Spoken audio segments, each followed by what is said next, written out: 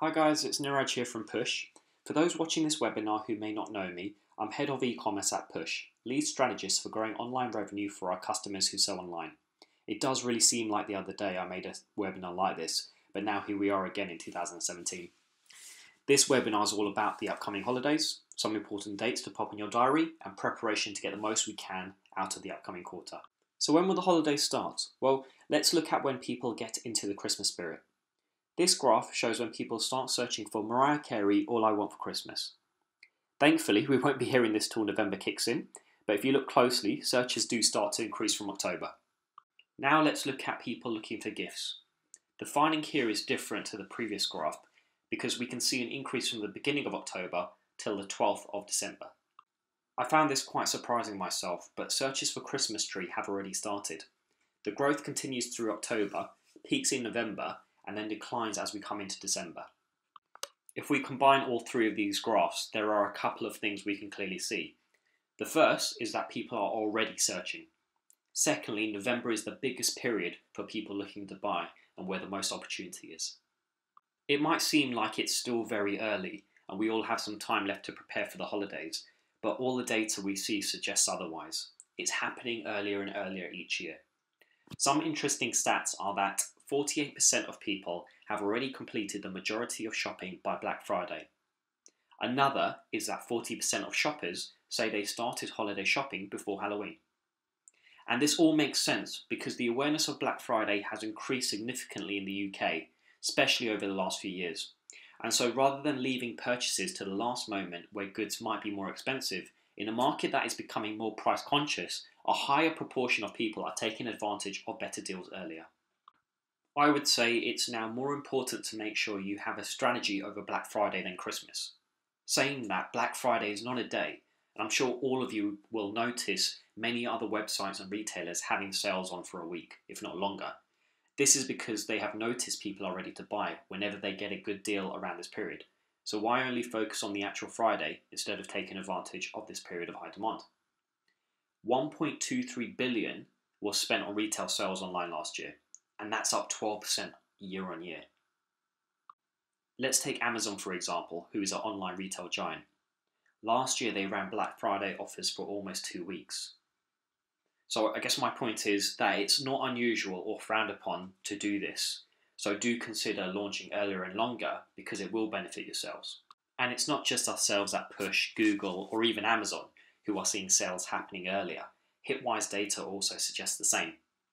If you have a look at this chart, you will see visitor growth year on year in dark blue.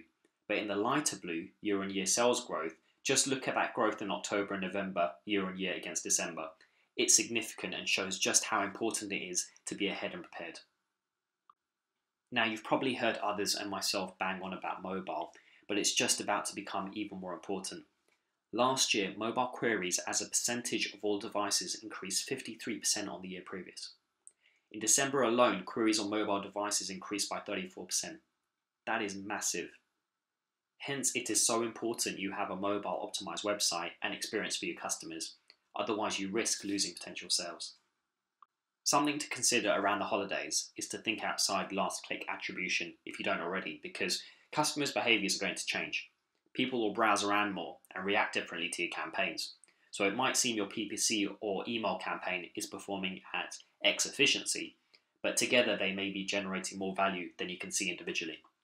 For this reason, some of our customers approach us with a marketing budget as a percentage against overall revenue so they don't miss out, which might be something for you to think about. So, key takeaways from this part of the webinar are that A, users are already starting to browse for Christmas even though it's only September. B, Sales are happening earlier each year, so it's worth keeping this in mind for 2018. C, Black Friday has more sales opportunity than Christmas, so we should all change our mindset to prepare for November as opposed to December um, if you're not already doing that.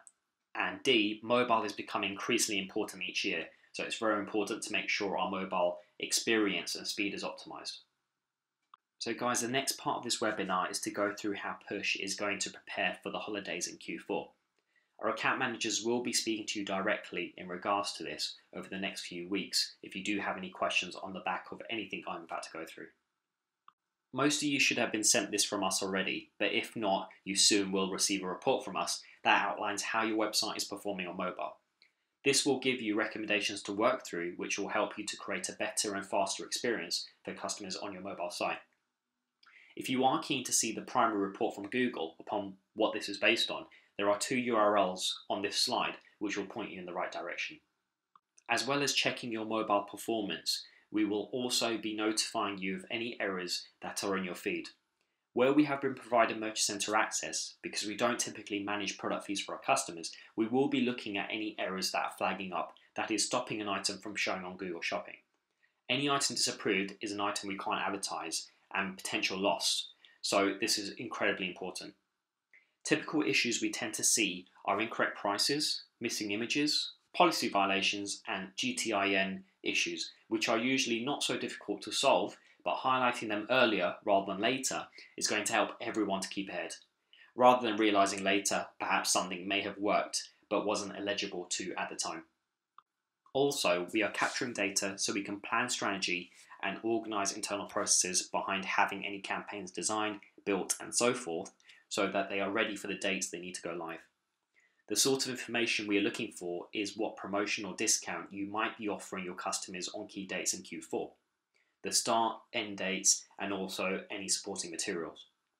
We managed to get most of you to send this to us on time last year, and appreciate sometimes there will be some delays in getting this information across. We will always try to meet demands, but to get this over sooner will help us then to focus more on optimizing their campaigns at the time they are live and be proactive instead of reactive. Then, guys, depending on your strategy, we will do all or some of the following such as update your ad copy with relevant information. Some background information is that in comparison to last year, there have been quite a few innovations in what we can include in an ad. So we have more space to highlight your USPs, your unique selling points, promotion, and sales. Where possible, we will showcase your offers in banners. This is an example of a remarketing campaign for Halloween. So we will create remarketing banners that will showcase your business promotion or sales to customers as a browser web. Something that works typically well are shopping promotions. So, where they are eligible to run, we will launch these shopping promotions to help you stand out from the crowd. Typically, we see a lot more browsing behavior around the holidays, which is why exit overlays work particularly well as they help to keep customers on site rather than navigate away to a competitor. If you already have an exit overlay, then we will update them. And if you don't have an exit overlay but would like one, then please speak to your account manager who will be able to provide you with further information on how to get one. There are other actions we will take to promote, but this is to give you a brief overview on some key components we will be working on for the time being. Something else very important to bring up is to decide your marketing budget over Q4.